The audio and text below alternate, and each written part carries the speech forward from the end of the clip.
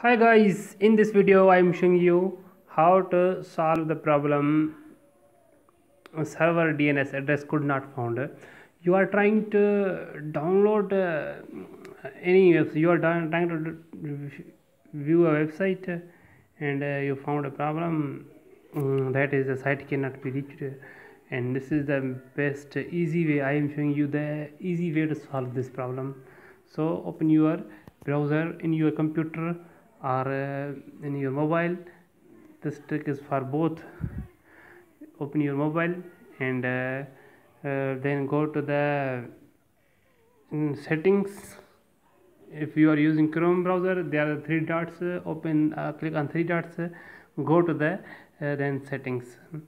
So come on settings and clear your browsing history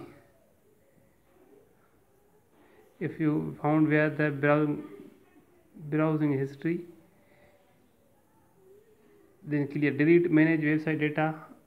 Delete this and uh,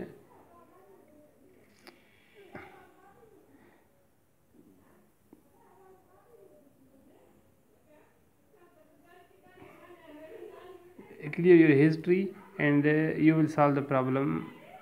First of then I will I have solved this problem using this you can see the the internet is working now. And the first problem was in this mobile my mobile.